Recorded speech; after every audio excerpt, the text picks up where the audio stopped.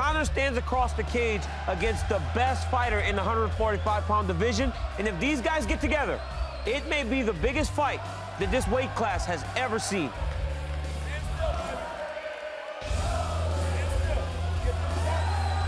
Forty-five.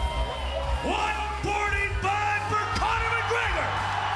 Frankie, I'm not saying that your fight with the champ wasn't huge, but this Making 145 on the dot a message to Jose Aldo, who's here. 100%, 145. I wanted to make that championship weight to let people know.